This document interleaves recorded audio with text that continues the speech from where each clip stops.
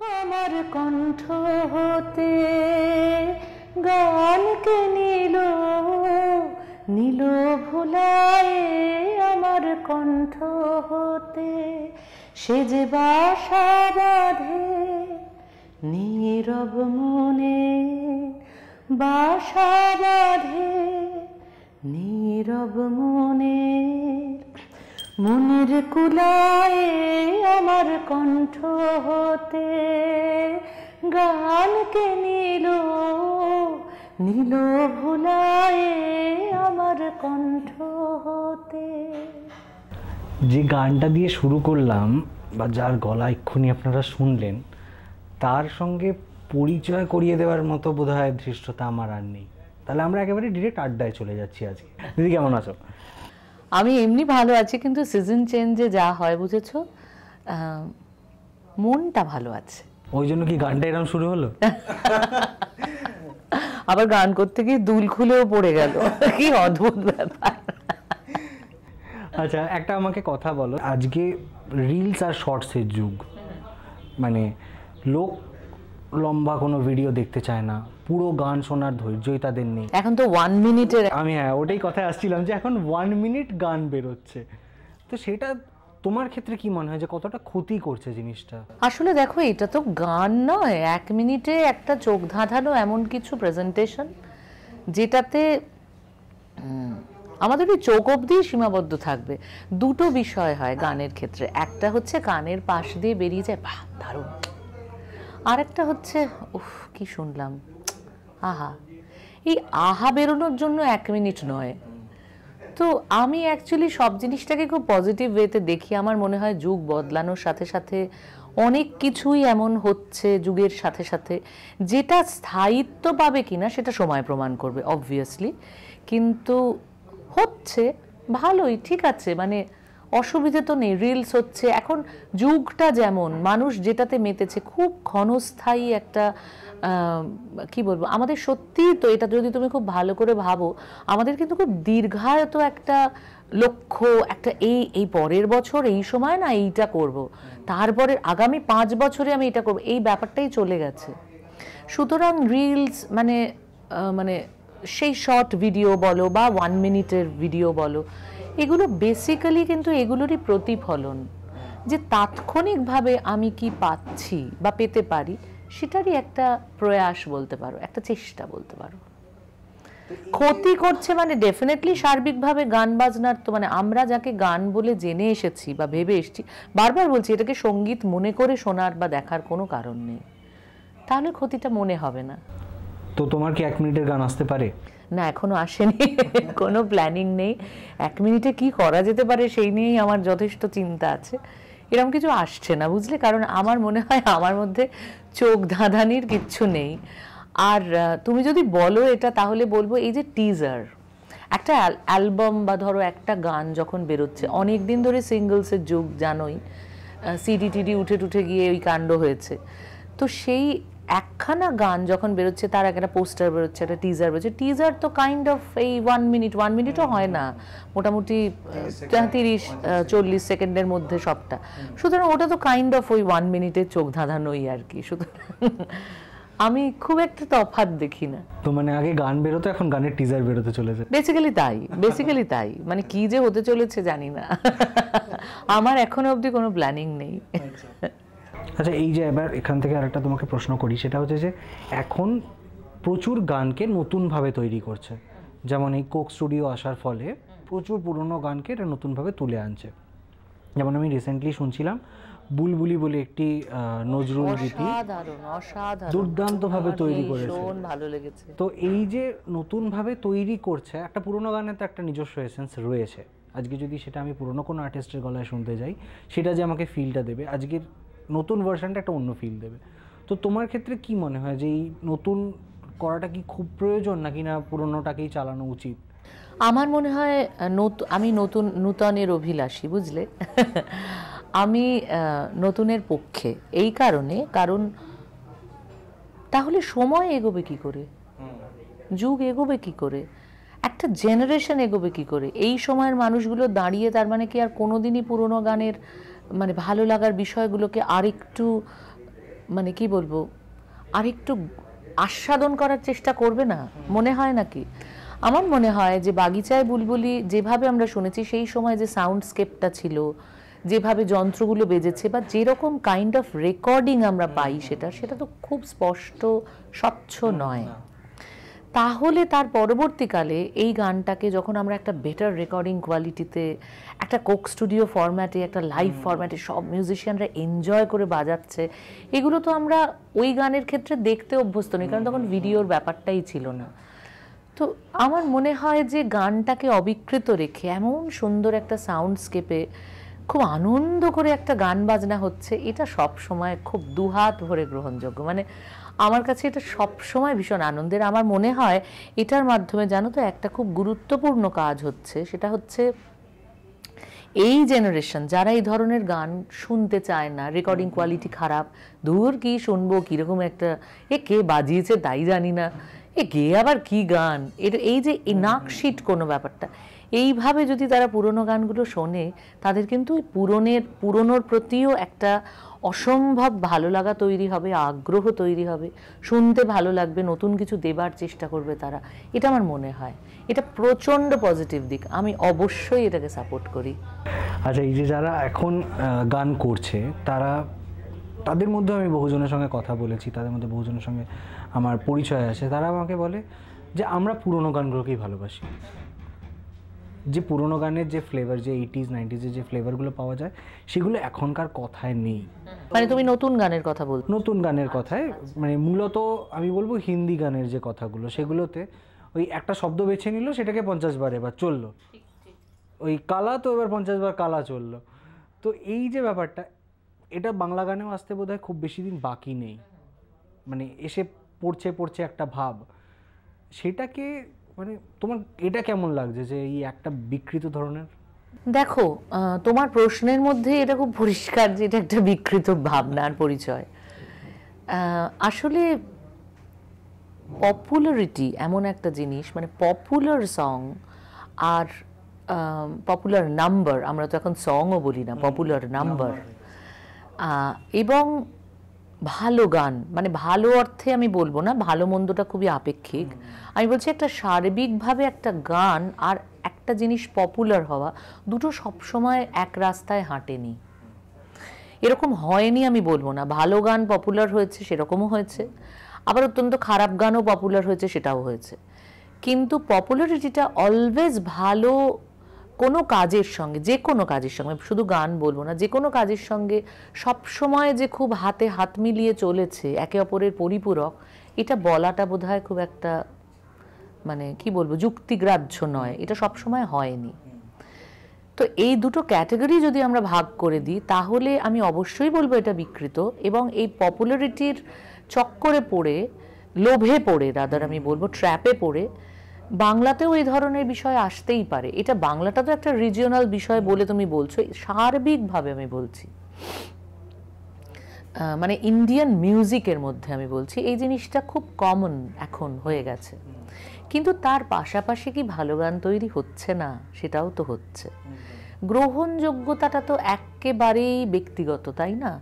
এটা ভীষণ সত্যি যে এইটিজ নাইনটিজে যে ধরনের গান তৈরি হয়েছে সেটা ডেফিনেটলি আমাদের এখনও ভালো লাগে। এই যে আমাদের সোনার পরিধিটাকে বাড়ানোর প্রচেষ্টা করা এটা আমার মনে হয় প্রত্যেক ঘরে ঘরে করা উচিত। একটা বাচ্চা যখন ছোটবেলা থেকে বড় হচ্ছে না সে যেমন সব ধরনের বই পড়বে সে সব ধরনের মিউজিক শুনবে তারপরে তার গ্রহণযোগ্যতা তৈরি হবে তার ব্যক্তিগত অভিরুচির ওপরে। তাই নয় যে আমি কোনটাকে বেছে নেব আমি কোনটা শুনতে চাইব। হুম। তার যদি মানসিকতা মন বেড়ে ওঠা সব কিছু এমন জায়গায় হয় যে সে শুধু ওই পপুলার মিউজিকের দিকেই যাবে যেটা খুব ক্ষণস্থায়ী যেটার মধ্যে ওই যে তুমি বললে কালা শব্দ পনেরো একশো পঞ্চাশ বার বলা আছে। হতেই পারে সে সেই পথে যাবে।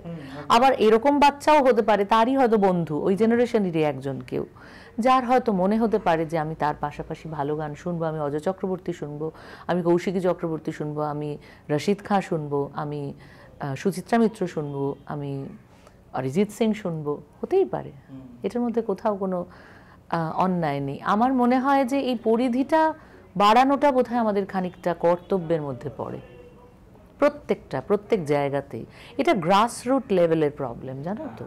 এটা রুটের প্রবলেম আচ্ছা এইখান থেকেই তোমাকে আরেকটা জিনিস জিজ্ঞাসা করি যে যে সময়ের কথা তোমাকে আমি বললাম সেই সময় যারা গীতিকার ছিলেন তারা তো অসাধারণ অসাধারণ লিখে গেছেন এক একটা গান। তো এখন কোন গীতিকার তোমার পছন্দের? দেখো, কোনো একজনের নাম বলা খুব ডিফিকাল্ট আমার রাজীব চক্রবর্তীর লেখা খুব ভালো লাগে। আমার সৈকত কুণ্ডুর লেখা ভীষণ ভালো লাগে। শ্রীজাত বন্দ্যোপাধ্যায়ের কিছু কিছু গান আমার অসম্ভব ভালো লাগে। শ্রীজাতদার কিছু লেখা আমার খুব সেরিব্রাল লাগে রাদার আমি বলব। এছাড়াও ধরো এরকম বহু বহু মানে এরকম, এরা তো খুবই লিডিং আমি তাদের কথা বললাম। এছাড়াও আমি বলব অর্ণাদির লেখা আমার কিছু গান আমার ভীষণ ভালো লাগে। আমি ইনফ্যাক্ট কিছু গান গেয়েছি বলেই আমার সেই জন্য একটা আলাদা ইয়ে মনে এসেন্স পাই আমি সেটার মধ্যে। এরকম শ্রীকান্ত দাও কিছু কিছু গান অসাধারণ লেখে। গৌতম ঘোষালের কিছু লেখা আমার ভীষণ ভালো লাগে। মানে কোনো একজনের নাম বলতে পারব না। আসলে গান অনুযায়ীও বোধহয় অনেক কিছু চেঞ্জ হয় ডেফিনেটলি এটা বলা খুব মুশকিল। তবে এইটুকু আমি তোমায় বলতে পারি যে বেশ কিছু ভালো গান ভালো কাজ ভালো লেখা এখনও কিন্তু হচ্ছে। শোনানোর মাধ্যমগুলো বন্ধ হয়ে যাওয়ার কারণে জানো তো আমরা খুব, কি বলব, আমাদের আমাদের হাত পা বাঁধা, আমরা অনেক কিছু শোনাতে পারছি না। আচ্ছা এই যে শোনাতে পারছ না, সেখান থেকেই বলি, এই যে ধরো আজকে ক্যাসেট উঠে গেল, সিডি এলো, সিডিও বন্ধ হয়ে গেল, তারপর মানুষ গান কিনে আর শোনার কোনো সিস্টেম নেই। জাস্ট ইউটিউব খুললো স্ক্রল করল, পছন্দ হলো না, সরিয়ে দিল। এটা শিল্পীদের ক্ষেত্রে কতটা অসুবিধার হয়েছে? একেবারে জঘন্য ভাবা যায় না। মানে নতুন কিছু তৈরি করার ইচ্ছে তো চলেই গেছে প্রথম কথা। সে চলে গেছে থেকেও বড় কথা হচ্ছে বিনা পয়সায় তুমি আমায় বলো তো কি পাওয়া যায়? তুমি একটা জিনিস আমাকে বলো যেটা বিনা পয়সায় পাওয়া যায়। জলের নাম জীবন সেটাও বিনা পয়সায় পাওয়া যায় না। তা গানটা কি কি একটা মানে ছেলে খেলা করার জিনিস? মানে আমি বুঝতে পারি না আমি কিছুদিন আগে উম, আমি আর শ্রীকান্ত দা দুঃখ রজনীর সাথী বলে গত বছর তখন ওই ভয়ানক অবস্থা চারপাশে। মানে কোভিড মানে একটা মানে জাল বিস্তার করে ফেলেছে আর কি পার্ট টু চলছে তখন। সেই রকম অবস্থায় আমরা বাইশে শ্রাবণ ঠিক ওই ফেজটা পেরিয়েছে মানে এপ্রিল মে ওই সময় তো একটা মারাত্মক অবস্থা হয়েছিল। তারপরে অগস্ট মাসে আমরা দুঃখ রজনীর সাথী করব বলে বাইশে শ্রাবণ আমরা একটা অনলাইন ডিজিটাল কনসার্ট বেসিক্যালি তো সেটা করব বলে ঠিক করলাম। তো সেটা যখন করব বলে ঠিক করলাম সেই সময় টিকিটের জন্য আমাদের অ্যাপিলও করতে হয়েছে অবভিয়াসলি তো সেই সময় বহু মানুষ নিচে লিখেছিলেন মানে আমি সচরাচর উত্তর দিই না আমাকে যদি তুমি একটু ফলো করো দেখবে যে আমি খুব কম ফেসবুকে অ্যাক্টিভ অ্যাক্টিভ আমি ভীষণই। আমার ভালো লাগে না। ভালো না লাগার অনেকগুলো কারণ আছে সেগুলো অন্য প্রসঙ্গ আমি সেগুলো নিয়ে পরে আলোচনা করছি বা তুমি মানে যদি প্রসঙ্গ ওঠে বলব। আদারওয়াইজ আমি বলছি যে আমি ওখানে কিন্তু উত্তর দিতে বাধ্য হলাম। ওখানে মানুষ, কিছু মানুষ কিছু মানুষ। তাদের আমরা চিনি না, আম জনতা, সাধারণ শ্রোতা। তারা বলছে যে অ্যাকচুয়ালি এদের তো কোনো নিজেদের মধ্যে আলোচনা করছে হ্যাঁ? এদের তো কোনো পয়সা নেই, আসলে খেতে পায় না তো। ঠিক এরম ল্যাঙ্গুয়েজ এক বর্ণ, আমি তোমায় ফোন ঘেটে বলে দিতে পারি। পয়সা নেই তো, খেতে পায় না তো, সেই জন্য ওদের ভিক্ষে করতে হচ্ছে গান গেয়ে গেয়ে। করে আর আরেক ভদ্রলোক সেখানে লিখেছে লিখেছে মানে একটা লিংক দিয়েছে, দিয়ে বলছে যে আট, তখন বোধ হয় সেভেন্থ অগস্ট ছিল মোস্ট প্রবলি আমার এই মুহূর্তে খেয়াল নেই কবে ছিল বাইশে শ্রাবণটা। না, আমরা বোধহয় পনেরোই অগস্ট করেছিলাম। এনিওয়ে যাই হোক বলছে যে, লিখেছে যে, ওখানে, এই দিন আমাদের অনুষ্ঠান আছে, বিনা পয়সায়, পারলে দেখবেন। তো আমি উত্তর দিতে বাধ্য হয়েছিলাম যে একটা লজেন্সও কি আপনি বিনা পয়সায় কিনে খান? একটা গানের কথা ভাবেন কি করে? আমরা যে গান বা, একটা ডিজিটাল কনসার্ট করতে গেলে একটা ভেন্যু নিতে হবে। সেখানে একটা প্রপার লাইটের ব্যবস্থা করতে হবে। সেখানে একটা মিনিমাম খাওয়া দাওয়ার একটা বেসিক বেসিক অ্যামিনিটিস যেগুলো, সেগুলো তো আমাদের প্রত্যেকটা লাগবে। সাউন্ড সিস্টেম দুজন মিউজিশিয়ান একটা এসি চলবে। মানে এই প্রত্যেকটা, সেগুলো কি সব বিনা পয়সায় হবে? কে দেবে টাকা? কে দেবে? আমরা টিকিটের জন্য অ্যাপিল করেছি এই কারণে কারণ আমাদের অনুষ্ঠানটা সকলের জন্য নয়।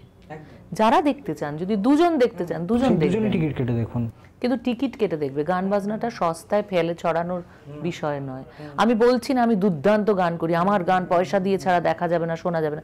না আমি কথা বলছি না। কিন্তু সংগীত বিষয়টাকে তুমি শ্রদ্ধা করো। আমাকে করতে হবে না। আমি বুঝতে পারি না মানে কি অদ্ভুত একটা ঘটনা কি প্রসঙ্গে আমি এখানে এলাম একবার বলো তো কি প্রসঙ্গ? এই যে যে প্ল্যাটফর্ম ওয়াইজ যে ক্যাসেট বন্ধ হয়ে গেছে হ্যাঁ মানে আমি সেটাই বলছি যে মানে এই প্রসঙ্গটা বললাম অ্যাকচুয়ালি যে মানুষের কি মানসিকতা। বিনা পয়সায় মানুষ সমস্ত কিছু পেতে এখন অভ্যস্ত হয়ে গেছে। ইউটিউব কাইন্ড অফ সেটাই।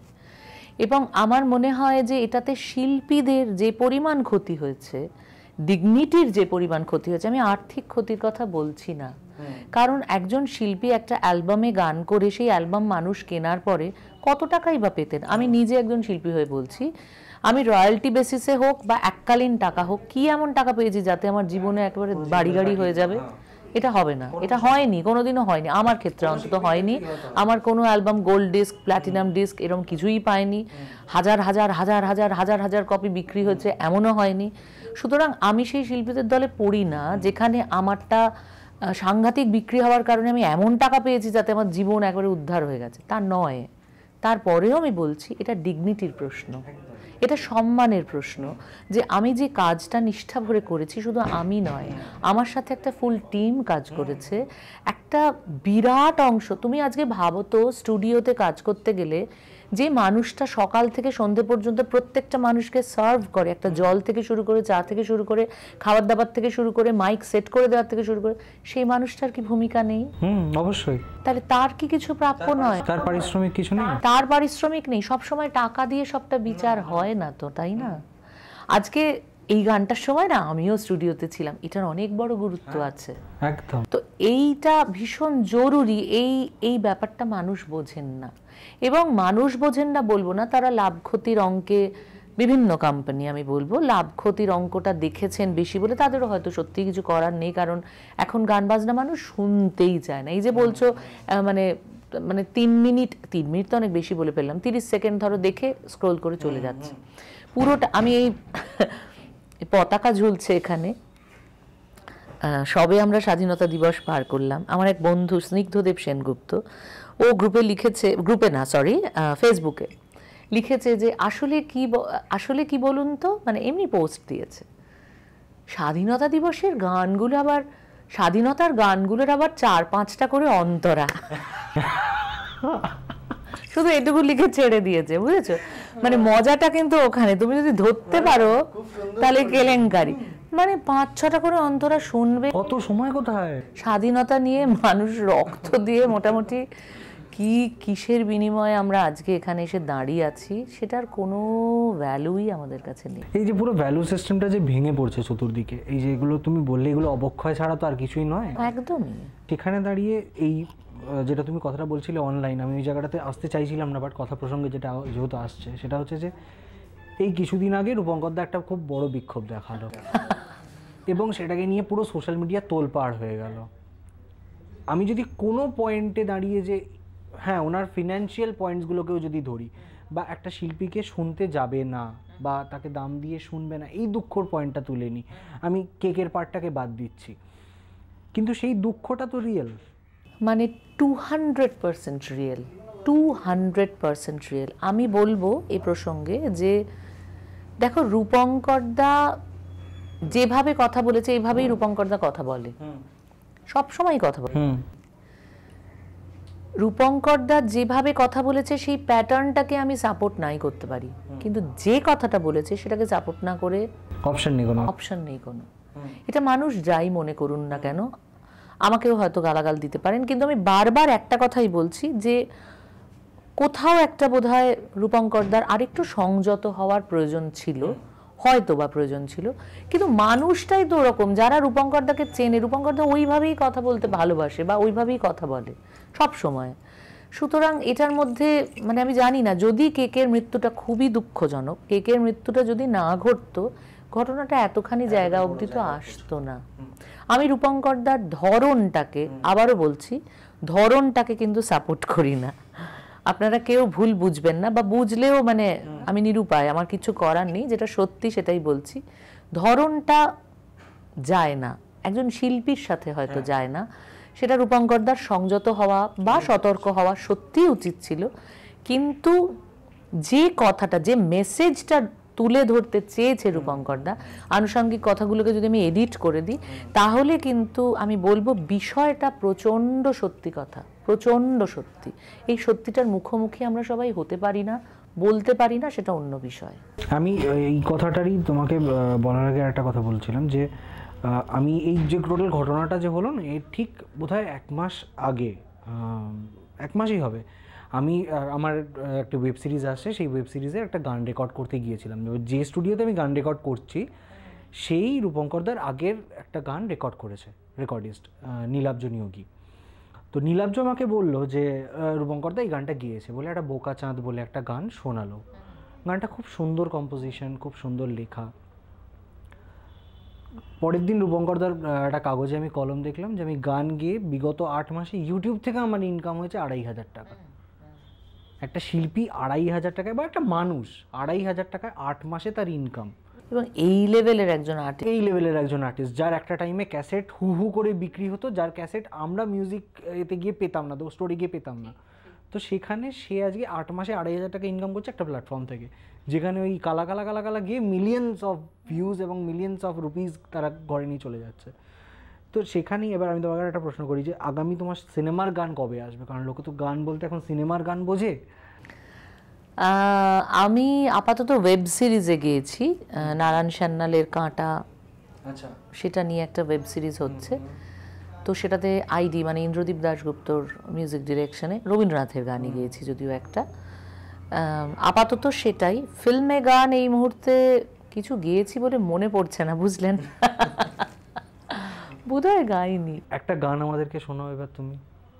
কারণ এতগুলো গান আমরা স্পর্শ করে করে বেরিয়ে গেছি এবার দর্শকরা আমার উপর অলরেডি খেপে আছে যে কি তখন থেকে আড্ডা দিয়েই যাচ্ছে আমার যা গলাটার অবস্থা না আমি সুবনের সাথে তারপর খুব উত্তেজিত হয়ে বকবক করছি একটা রিকোয়েস্ট করি বলো সাজানি সাজানিটা একবার হয়ে যাক सजनि सजनि राधिकालो देख अब हो चाहिया मृदुल गमन श्याम आवे मृदुल गान गाहिया सजनि सजनि राधिकालो देख अब हो चाहिया এইটাই নাকি তুমি বলছিলে তোমার গলা খারাপ হ্যাঁ না না এগুলো না ভালোবাসার থেকে বেরিয়ে আসা বুঝেছো আসলে গলা দিয়ে গান করছি না আচ্ছা দিদি যখন গলায় আহ, ব্যথা রয়েছে সেখানে আর ব্যথা দিলে এবার বাকি দর্শকের আমার উপরে খেপে যাবেন তো আমরা এবার যাই র্যাপিড ফায়ার রাউন্ডে র্যাপিড ফায়ার রাউন্ডটা আমাদের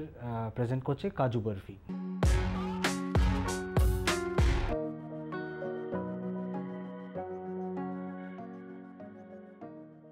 দশটা প্রশ্ন তোমার কাছে রাখছি একদম র্যাপিড প্রশ্ন যত র্যাপিড হবে উত্তরটাও ঠিক ততটাই র্যাপিড আসবে। ওকে আই উইল ট্রাই প্রথম রবীন্দ্রসঙ্গীত কোনটা ছিল যেটা মঞ্চে উঠে তুমি প্রেজেন্ট করেছিলে? খোলো খোলো দ্বার। সুচিত্রা মিত্র নাকি কণিকা বন্দ্যোপাধ্যায়?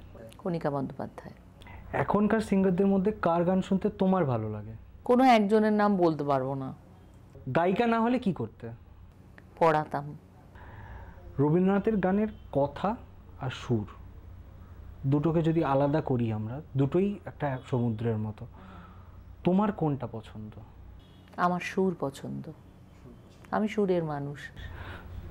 না কিন্তু আমি কথারও মানুষ। মানে রবীন্দ্রনাথের বহু কথা আমাকে এমন উত্তরণের পথ কি বলি? না ঘেটে গেছি। ঘেটে গেছি। আচ্ছা রবীন্দ্রসঙ্গীতে তো অনেক পর্যায়। তোমার প্রিয় কোন পর্যায়টা? পূজা।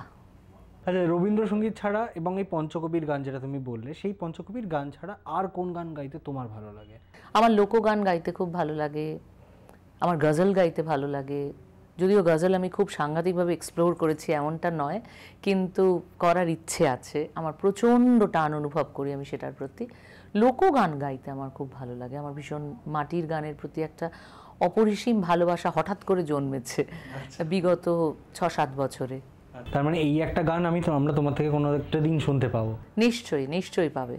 আচ্ছা। এবার হচ্ছে যে কোনটা বেশি ভালো লাগে তোমার? সিনেমার জন্য গাওয়া নাকি না অ্যালবামের জন্য গাওয়া। অ্যালবামের জন্য গাওয়া। সিনেমার জন্য গাওয়াটা আমি এনজয় করি না, এটা একবারও বলব না। কিন্তু আমি অ্যালবামের জন্য গাইতে বেশি ভালোবাসি, কারণ সেখানে আমার আইডেন্টিটি নিয়ে কোথাও কোনো কম্প্রোমাইজ করতে হয় না। কিন্তু সিনেমার জন্য গাইলে অবভিয়াসলি আমি একটা ক্যারেক্টারের জন্য যখন গাইছি, সেখানে আমাকে নিজেকে ভুলতে হয়। আমি এরকম অনেক কিছুই হয়তো করতে পারি না, যেটা আমি একা মানে আমি আই মিন আমি অ্যালবামে গাইলে যেগুলো আমি করতে পারব সেই জায়গাটা থাকে না আমার মনে হয়। তো কাজু বরফি খুশ হুয়া এত সুন্দর সুন্দর এপে তো কাজু বরফি তোমার জন্য একটা খুব সুন্দর গিফট পাঠিয়েছে। এটা তোমার জন্য। সাধারণ বিউটিফুল কিন্তু এখানে তুমি একটা কি বলবে বলছিলে? হ্যাঁ এটা আমি তোমাকে অফ ক্যামেরাই বলব। আচ্ছা দর্শকদের জন্য একটাবার কাজু বরফির গিফটটা দেখিয়ে দিও। এটা অসাধারণ। থ্যাংক ইউ সো মাচ আমি কি বলব আমি জানি না। কাজু বরফিকে অনেক অনেক অনেক অনেক কৃতজ্ঞতা এবং ধন্যবাদ। এরকম একটা অসাধারণ গিফট আমাকে দেবার জন্য। অসাধারণ। আমি যে কোনো আড্ডাই শেষ করি এই র্যাপিড ফায়ারের পরে একটুখানি গল্প গুজব করে। তো যেহেতু তোমার গলাও খারাপ বলছো তুমি, কিন্তু তবুও রিকোয়েস্ট করতে তো মন চাইছে। জাস্ট দুটো লাইন তোমার প্রিয়, যে কোনো একটা গজলের শুনিয়ে দাও কারণ এই গজলের লোভটা আমি ছাড়তে পারলাম না শোনার পরে। তুমি গজল কেন শুনতে চাইছো? তুমি বরঞ্চ ইয়ে শোনো লোকগান একটা শোনায় আচ্ছা তাই হোক।